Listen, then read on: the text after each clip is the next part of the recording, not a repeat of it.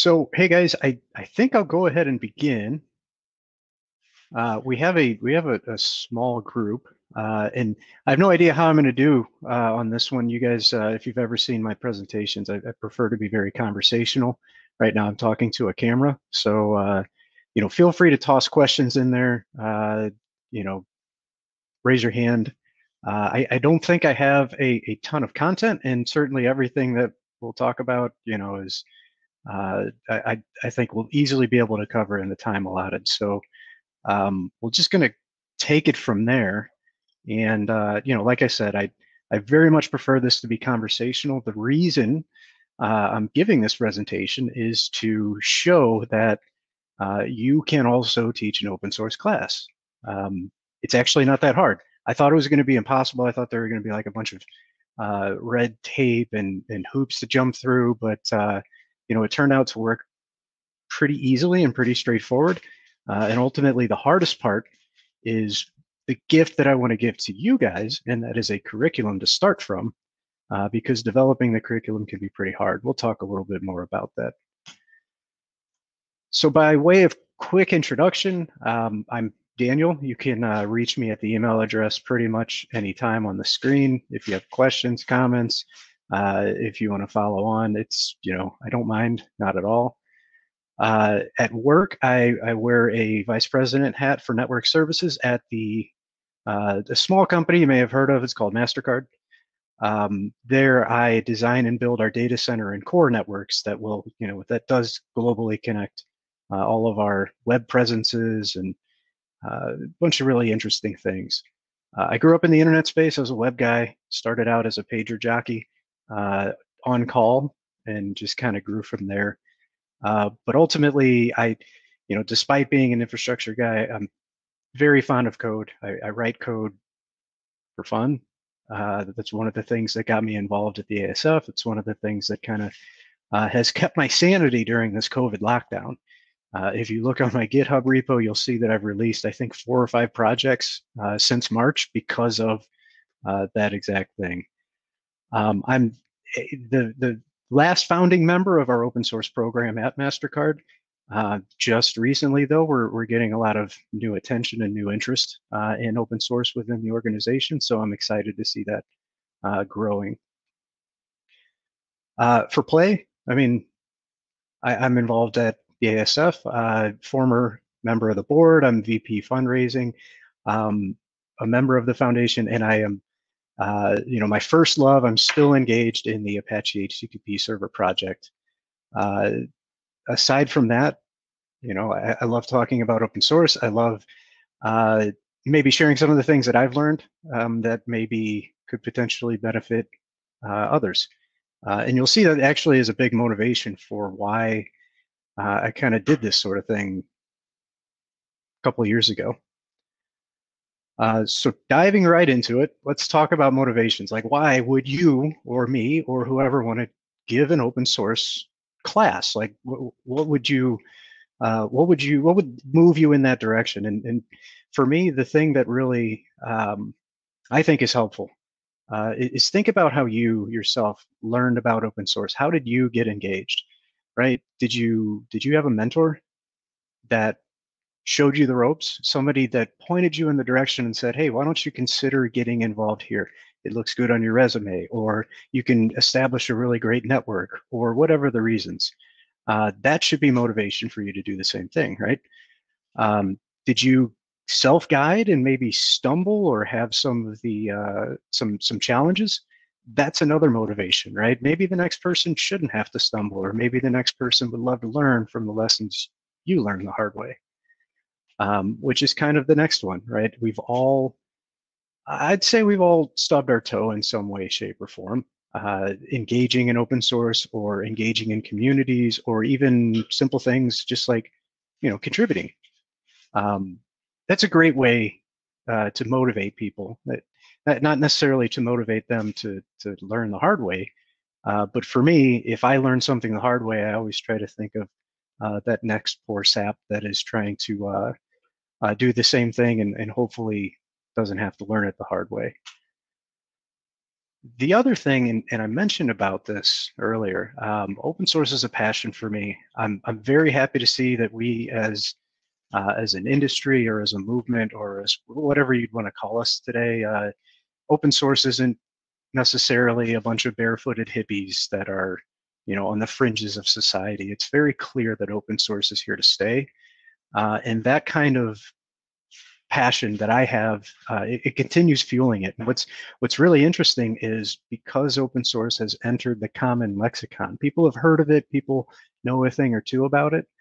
Um, it's much more likely that you'd be able to latch on to that interest uh, to to deliver your own passion, right? So for me, myself, I, I appreciate training and mentoring and teaching people. Uh, obviously, there's a, a philanthropic angle. Uh, it feels good to give back.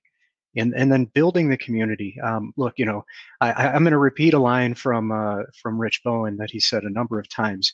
I have personally gotten so much more out of my involvement uh, with the Apache Software Foundation and with open source than I have ever received. So it, it's good to deliver that, right? It's good to, sorry, it, that I have ever given back. It's good to return that. Uh, and you know, it's interesting. Let me let me just use a, a quick word about um, the passion and, and about just sometimes you just got to let things happen.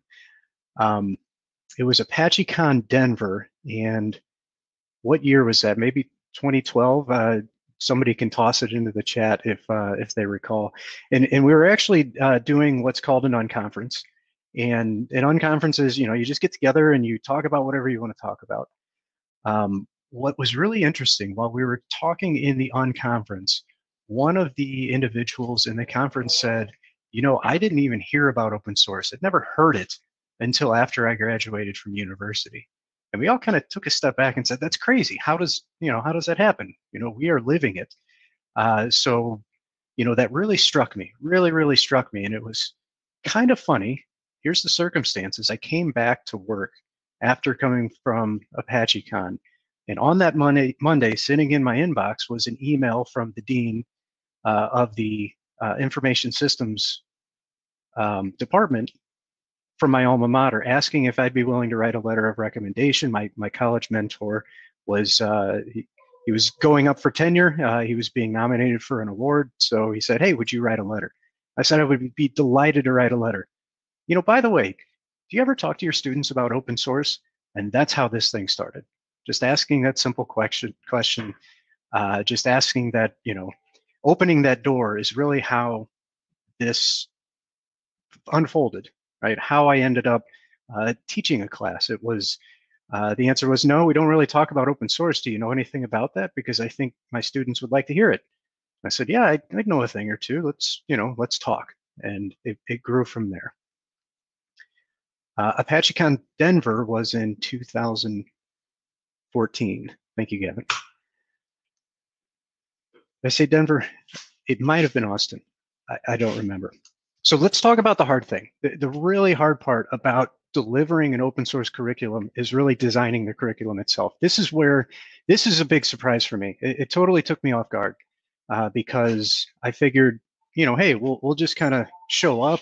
Uh, we'll talk about open source. It's going to be great. It's going to be awesome. And what I realized very quickly is that uh, when you when you give a class, you're signing up for X number of 50 minutes or sometimes hour and a half long presentations. Uh, and that that kind of hit me, you know, the hard way. And I, I took a step back and I said, okay, well, shoot, how are we going to do this? What are we going to do? Um, oh, actually, you know what? I'm, I'm running down the path. Let me let me take a step back. Where might you teach this class, or where might you do this? Um, it can be difficult to find a start as I kind of mentioned, the the start landed in my lap. Keep an eye out for that sort of thing. Use your personal network and your professional network. Another way to do this, uh, and and this is actually um, how I got involved in the, I forget the name of the uh, uh, the programming club at one of the local colleges, but I showed up one day uh, to talk about the Apache Software Foundation to give the Apache Way presentation, and it just kind of grew from there, right? You, you, you gain the interest, people ask more questions, you say, well, hey, I can come back, you know, hey, I could do a lunch and learn or maybe something like that for your faculty. What do you think? Uh, another great way to do this is speak at a conference, just like this. So I'll tell you what, here, I'll make a deal. We have a handful of people now in the session. Everybody here uh, is going to use my call to action of going out and they're going to try to uh, land a job as an adjunct instructor uh, for one semester teaching a class. And next year, I'd love to see you guys present here on how you did it, right? That'll be the uh, that'll be the goal. I see Rob Tompkins, he's he's already starting, he's already working on it. So that's going to be great. Um, Rob, I would love to hear about your experiences and, and please reach out, use me as a resource. So anyhow, back to talking about curriculum. This is the hard part. Uh, and believe it or not, there is actually some open source data, open source information uh, that you can use, right? Uh, stand on the shoulders of giants. Um, I structured my class, uh, I structured the curriculum heavily on Channy Yun's open source class that you can see on the Google Code um, uh, site that he operates. There's also a terrific amount of, of just really good open source documentation uh, right here in the community track, which we're, we're hanging out in, community.apache.org. That's a great place. Just start browsing and things that seem interesting to you.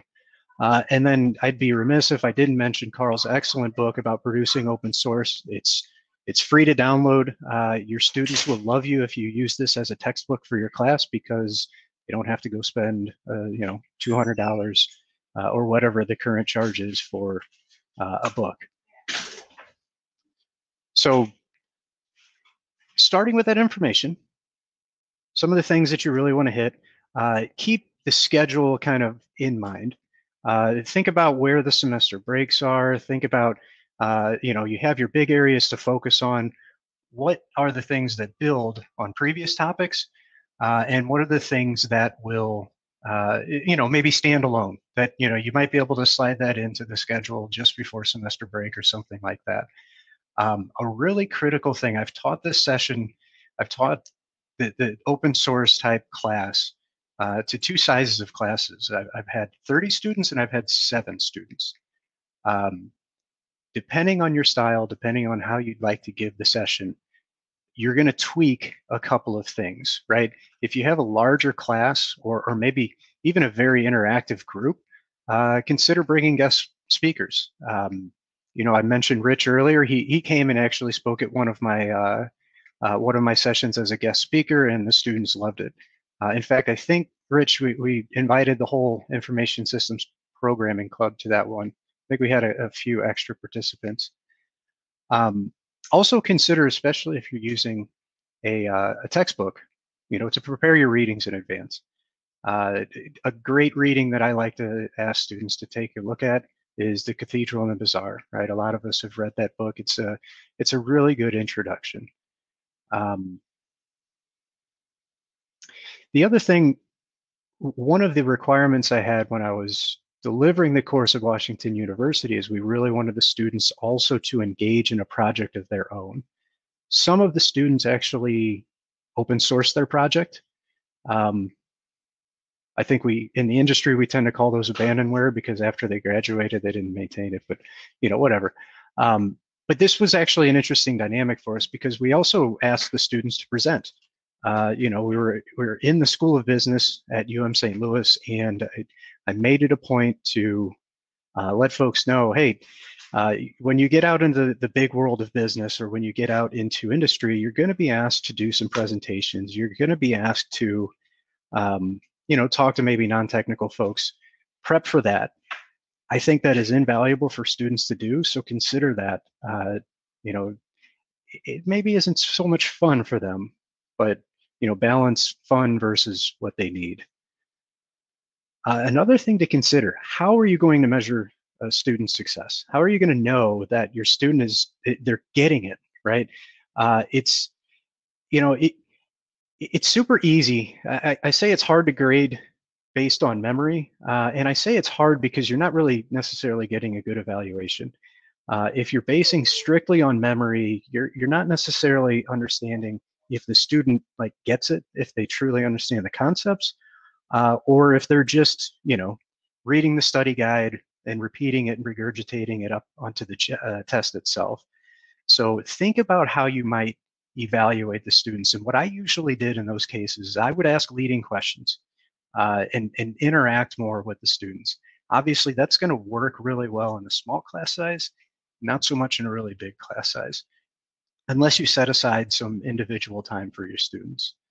So think about different ways that you could uh, evaluate the students, right? I tossed a few criteria up on the screen.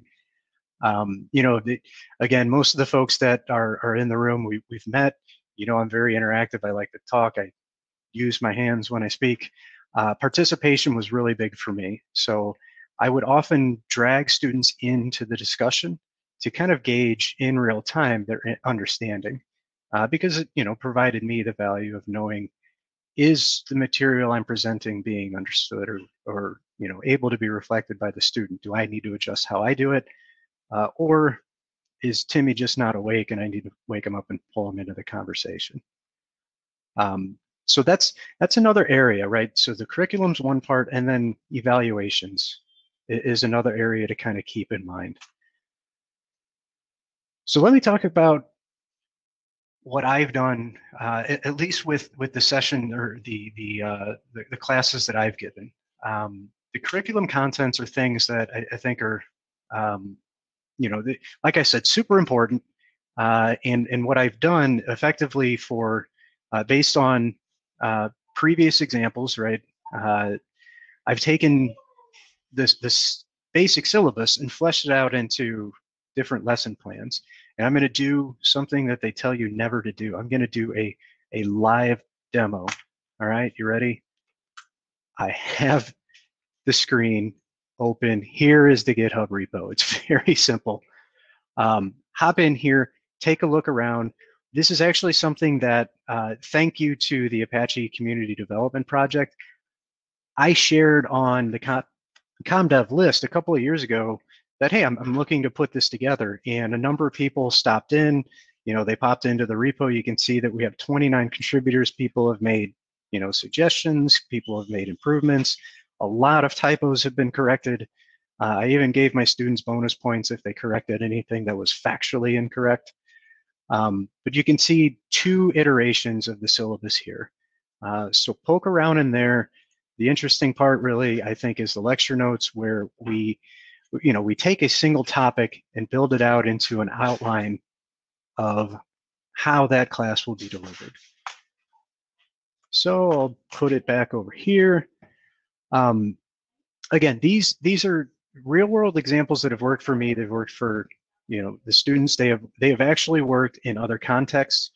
Uh, I've given some of these sessions. I, I assume a lot of folks here are participating in training programs at work. Um, there have been times where we might have interns come along or you know junior folks that are trying to understand what is CI/CD, uh, and, and, I always refer back to these lesson plans. It's just you know let's kind of talk about those things. Uh, let's let's take this and and run through it, and then you know maybe there are new questions or, or something that you know I, I hadn't considered before. I always kind of feed it back into those markdown files. So as I mentioned, you know, that that's a, a good skeleton. Use it. It's it's yours. You're going to deliver this class, and I want it to be as a simple and easy process as possible for you. Um, consider also adding or subtracting guest speakers uh, and readings. I mentioned the cathedral and the bazaar. Uh, classic, classic document that, you know, very early days of open source. Um, I mentioned guest speakers. Uh, I actually, in our in the first iteration of the class, we had guest speakers on the opposite ends of the spectrum kind of give their perspective. Uh, one person talking about, you know, the benefits or the reasons that open source is, you know, you should do open source because it is just good to do. And then on the other side, we had a person uh, present and say, you should do open source because you get free labor and it's a business decision. Uh, very interesting, um, differing opinions uh, for the students to hear. So uh, consider that sort of thing. Um, I'll again point out I, I'm more than happy to uh, present, give guidance. Uh, I can even connect those interested with some of my own network if they would like to uh, do this sort of thing. So, you know, like I said, use me as a reference or a resource, uh, and I'm happy to refer you to other folks that might be able to augment the open source class that you might give. Uh, because I don't know if I'll be able to do this again. I, you know, recently uh, took a new role and it's been super busy. So uh, somebody carry the torch, right? So I'd normally kind of pause for questions, but uh, you know, I'm talking to a camera, uh, and and many friends of mine are on the other end of the camera, but uh, it's not as interactive. So I'll just kind of plow through, and then when we get to the end, you know, open for uh, whatever you have in mind. So I've kind of grabbed a, few things that I think are very, very important topics to consider. Uh, I think I have two slides of these the the first and, and I think that probably the most important, arguably to give students a, a true appreciation of open source is the history of open source. When you look at the different reasons people started doing or are doing open source, there are you know four discrete different reasons. I'll leave it as a uh, uh, an exercise for the reader to take a look at the um, syllabus to see what those four reasons are, but you know, getting getting students familiar with that history, uh, I think provides a richness and a very good foundation to build the rest of this. Um, moving further, you know, we also need to remember that we have to teach our students concrete, hard skills. Uh, tooling, guys, you know, we we in the open source world have invented tooling to augment our ability to deliver software. Think about it: source control, build management, bugs and issue trackers. These are things that any software development student, any business student even, will need to understand and have some sort of exposure to. So these are things that really need to be in place. Uh, they really should, you know, highlight uh, or have a highlighted spot within the curriculum. Uh, and I'll talk a little bit more about one of the reasons why that's the case in my mind. Um, depending on what area your students are studying, uh, the different development processes might be important to cover, right? Uh, I, I, found that the students are totally on board. They totally get the whole Kanban uh, kind of thought process. When I when I tried to explain to them waterfall, they they got a little confused and they said that sounds awful. So I guess we as an industry are you know progressing well on that front. Um, it's also important, especially if your students will be participating in open source, to talk about development best practices. Uh, there will be times that they might go back to contribute, uh, and depending on the community that they are engaging in, they may not have a good experience if they forgot to update the README. I'll let you fill in the blanks on what that might mean for some of the communities that are out there, but uh, they should definitely understand these things. And then a, a favorite topic, I think this is important for open source. Um, it, it's obviously critical to the Apache Software Foundation, so maybe that kind of slants my view. But let's talk about communities. Let's talk about governance. Let's talk about how do things happen within the different projects. Uh, this is an entire hour and a half long session, sometimes two hours, uh, that you can you can run through here with your students. And uh, it, it's interesting because when we started talking about that, uh, communities and governance, particularly, and then licenses as well. The students were very fascinated. I was surprised by how interested they were in some of the softer side of the uh, the, the, platform, um, rather than some of the hard, you know, technical skills like source control uh, and things like that. Um, getting involved is another important one, and that that kind of feeds into communities and governance. I would tend to recommend teaching communities and governance so people can understand, you know, the way I get involved with uh, an open governance model is going to be very different from the way I get involved with a open source closed governance type of model. that makes sense. Uh, and I found that hands-on labs and doing even goofy exercises that you know it, it, in the grand scheme of things don't necessarily matter, but using some of the tools, that's a really important thing to do. Get get the students on the keyboard trying some of these things out because um, you, will be surprised at, at, how sometimes they have issues with uh, some of the tooling. So I'm going to jump to the next slide. Uh, before I before I touch on that, uh, Sharon asked a good question. So developers are getting younger and younger. Um, is there a minimum age I would recommend a class for? And I'm going to say no. I, I wouldn't really have a minimum age because you be the judge, right? You know your audience better than I would. It may be a bit lost, you know, not not lost. It probably wouldn't be effective use of time to teach 11 year olds about license and open source and intellectual property legal implications. Um, but they're definitely going to be interested in uh, logical flows, right? How do you how do you make computers do stuff like that? So I my my opinion would be find ways to work open source into any audience. Uh, you'll find it, you'll understand it. Um, I've had to explain to my kids a handful of times why why I engage in open source. What am I doing? Why? What is that black screen with the white text? What is all that stuff? Dad, talk to me. Um, and I've been receiving those questions as young as you know eight or nine years old. So um, I don't know if we ever really got into the uh, intrinsic motivational factors that you would see in you know a public good type of charity contribution, um, but at least the interest was there. So I, I would say expose the students early to it. Um, for a full-on curriculum, I would suggest uh, no sooner than high school, probably um, 10th, 10th or 11th grade uh, at a minimum, because you know there's a lot of complex topics that we would cover if we were doing an entire semester on open source. Um, so think about additional things that you might work into your curriculum. Uh, this is where it gets kind of interesting. Um, for a team project, this is uh, it, this will fit in very well with just about any computer science curriculum. I remember my capstone class uh, of my of my undergraduate degree was to design and deploy an actual system for a real world client. Um, that can be the underlying theme or the the backbone, I would say, of what you need to do in the class. But then as you work on that, you can expose and teach students all of these open source topics. That's actually what we did at Washington University when I, I did the session uh, there, is we would we would kind of set milestones uh, and we would have the students kind of self-govern their team projects. But then the bulk of class time was spent, we had hour and 15 minute classes.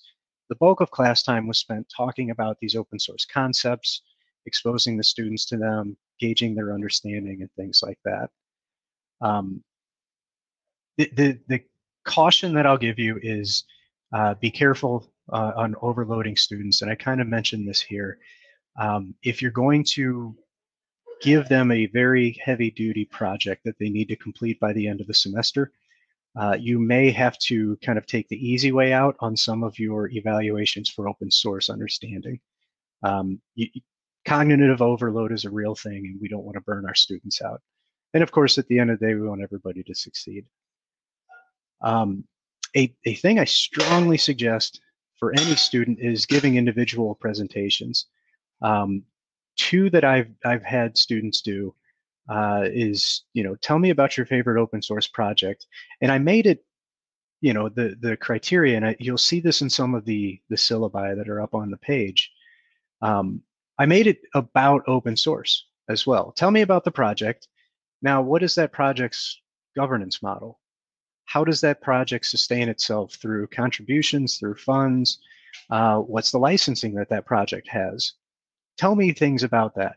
Uh, and that can also serve not just not just the the horrible thing that a lot of us hated in secondary school of giving presentations, um, but it also kind of causes students to internalize some of these concepts that they're hearing as they talk about their particular project.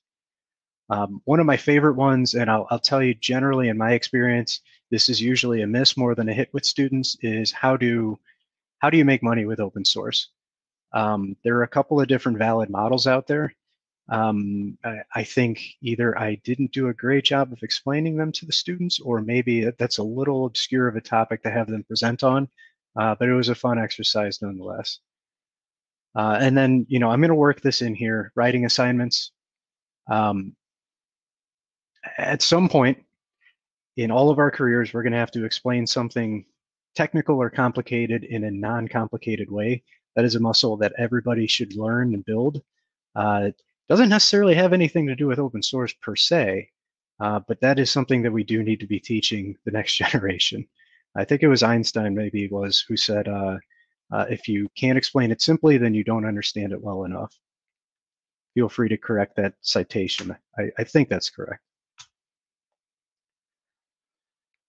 So giving the curriculum, I wanted to cover a couple of things that were surprising and not surprising, and then surprising for the students. Um, the things that are not surprising, I'm going to say them to make sure that you hear them and they're in uh, black or grayish and white. Uh, students don't always do the readings, and sometimes they don't show up for class. It can be hard to gauge that until it's a little too late. For example, if you are setting a schedule for your lecture, or you're, you're planning for an interactive session with the students, and you get 20 minutes in and you realize nobody has done the required reading and they have no idea what you're talking about, uh, you'll have to deal with that, right? Um, be aware of that, uh, have a backup plan. Um, I assume we've all kind of been there before where maybe we didn't do the best of uh, keeping up on the required readings. The other unsurprising thing is, you know, many students, I would say most, have not really been exposed to open source what is it really, right? I mean, people, uh, I think people generally understand open source means I can go get this free as in beer. Um, they may not understand the whole free as in free speech type of thing, but uh, generally speaking, they, they don't necessarily know the whole ecosystem. This is a vast and vibrant ecosystem, so that shouldn't be too surprising. Uh, and that's why we're here, right? We, we are going to teach this next generation about this ecosystem and Rob's going to tell me all about it next year.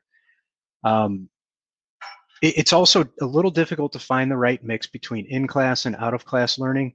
This is like required readings or writing outside of class versus you talking with the students during class. Uh, again, my personal style is I like a very conversational uh, type of presentation. So I, I tend to just use the notes right, that you'll find in the uh, the, the syllabus, um, or in the lecture notes, I should say. And then we just kind of take the conversation wherever it goes. You use the notes as a, a skeleton. Uh, the other part, and this is this is just the fact of of learning. Uh, students will miss nuances, something that you and I take for granted, or we just intrinsically understand. Um, they don't necessarily understand yet why that is significant. So it, it can fly right by them. Uh, repetition will be important. What was surprising for me, and these are some of the things that I wanted to share, um, learning Git is actually quite hard for first timers, actually any form of version control. Um, if you if you think back to your days as a uh, university student, um, or or if you got engaged in software development before that, I don't know about you guys, but I saved all these files locally on my disk, and sometimes I would copy them to a server. But this whole commit, uh, a chain of commits, and a uh, repository that holds these, and other people working, what that that was insane. Um, students, the the students have have consistently struggled with this. Uh, so I, I, definitely suggest lab time, uh, you know, repetition, you know, talking about version control uh, is definitely something that not just is important, it's a hard skill that is required these days. Um, you will need to spend some extra attention on some topics. Uh, I mentioned earlier in the session, make sure you save, you know, save an empty class or two, because there will be things that need to spill and you may need to, you know, kind of juggle the schedule just a little bit to make sure you give something appropriate coverage.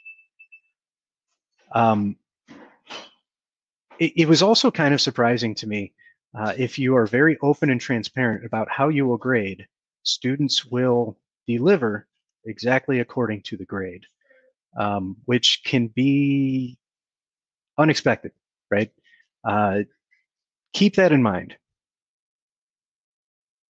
Um, finally, the other thing that I, I thought was kind of surprising, generally speaking, the students, even in the senior year uh, of a software engineering type of degree, um, they they don't necessarily understand the full software development lifecycle. So I will uh, uh, I will definitely recommend covering the life cycle of software development from conceptualization all the way to release, and then day two, you know, issues and tracking and stuff like that. So I did want to share a couple of things that I, I, I gathered were surprising for the students, and most of these are great. Um, open source is more than GitHub. This is something that you know I consistently could kind of see it dawn uh, on the students' faces as we would talk about these concepts, and they're like, "Oh, it's just not a place that people dump code. Cool. Let's learn more about this." Um, the other thing I found really fascinating, eh, so I, have taught this uh, this session in the School of Business and in the School of Computer Science, and consistently these uh, these students have been very interested in licensing and intellectual property. Um, it was it was a a very interesting conversation when we got around to licenses. It was funny the first time I taught the class, when I would reference the licenses talk uh, I would always say that talk that you guys are going to fall asleep in. And it turned out to be the exact opposite. The students were super engaged. They were really interested. Uh, they challenged a lot of the, you know, uh, things that they heard. Um, so I would say as, as you give your sessions, make sure that you're pretty well buttoned up on that particular area because the level of engagement for licensing and IP was, was really cool. Um, another thing that was kind of surprising for students, I would say, is writing for a non-technical manager is hard. You know, it's it, I I think this is maybe the third time in this session particularly that I've kind of called this out. This is a skill that they will need to build muscle for, and I guess it's it's easy to kind of internalize it, but to repeat back in a way that maybe isn't uh, understood to the level that you have, that's the challenge. Uh, and then finally, of course, the most uh, exciting thing that I saw students pick up, and exciting, you know, for me, is that students realize that they can participate to open source. Uh, guys, one of one of the most rewarding things I I experienced during delivery of this course is, uh, you know, I, I can see his face. I can I can remember the tone in his voice when he shared at the beginning of class that he fixed a documentation bug in his favorite JavaScript library. And he never would have thought to do that if it weren't for the fact that we talked about these things. So he fixed the documentation bug. Of course, you know, being who I am, I announced it to the whole class. Everybody clapped, and you, you could just sense the moment of, of, of, pride. So that was really cool. And, and to see the students kind of pick that up and get that they can do that, uh, very, very great. Um, wrapping up fairly quickly, I have only like a minute, but again, questions are certainly welcome. You know how to get a hold of me. Um, look, guys, you can do this. Uh, any one of us can do this. Any one of us who have the passion, uh, the experience, uh, anything along those lines. This passion is what makes it happen. Um, build upon the foundation that I, I, won't even say that I have provided because I built upon uh, existing curriculum. Let's do this the way we do open source software. Let's keep building, and the next iteration will be that much better. Uh, and, and then finally, guys, this is, you know, this is ApacheCon. You know, we're all about community over code. This is how you can give back to the community. The things that you have learned, sometimes through a mentor, sometimes through the hard way, you can give back to the next generation. So go for it. Do it reach out to me. I am more than happy to talk with you. Uh, you know, even if it's a phone call, I, I, do those. We can do phone calls, we can do Skype chats, we can do emails, whatever. Uh, I want to enable people to be able to do this because I personally, again, got so much out of giving.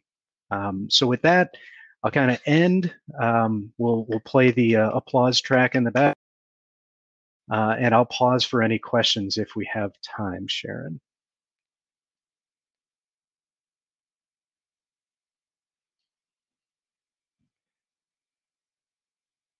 My friend Prashant has has uh, volunteered to be a guest speaker as uh, more community, less code guy. Um, preventing preventing burnout. Uh, yeah, actually, I'll I'll go ahead and plug his uh, his talk that's coming up. Uh, Prashant will talk about um, mindfulness and, and managing burnout. And I think if there's ever a time uh, it's now that we should all think about those things. Thanks, Prashant.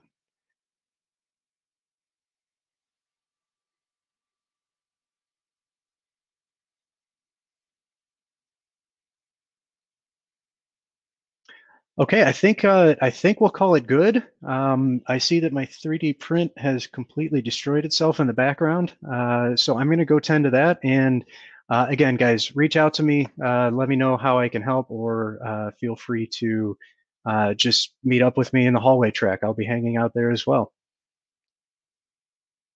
Thank you all.